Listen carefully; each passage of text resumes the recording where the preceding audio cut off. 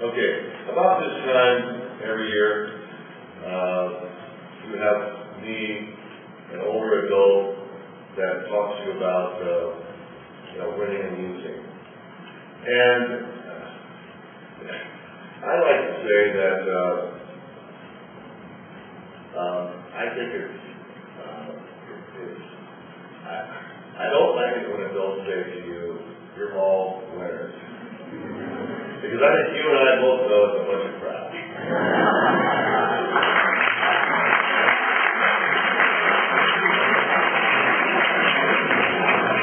will tonight announce top ten teams. We will tomorrow give out unit and regional awards. And we will crown a third, second, and first place team. No getting around that.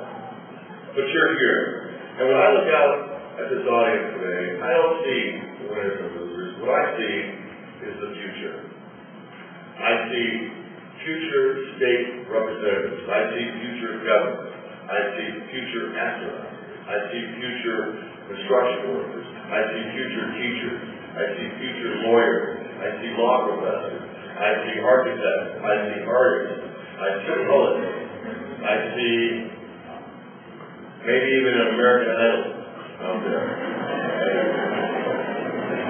I see the future.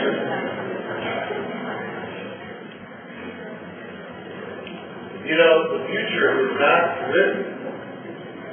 Guess what? You will write that future. We are depending upon that. It's your responsibility. You can't get away from it. And we hope that you make it a better one than certainly we have. You know, America will have more wars. It will have environmental crises. It will have natural disasters. It will have immigration issues. we'll have social security issues. We'll have issues we haven't even thought of. And you have to deal with those. And I think that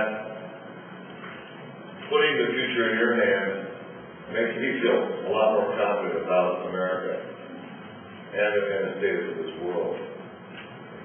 And so I'll leave you with this. On Christmas Eve 1959 in Birmingham, Alabama, Fred Shuttlesworth, the civil rights leader in Birmingham, his house was gone. And it was demolished. And he survived somehow.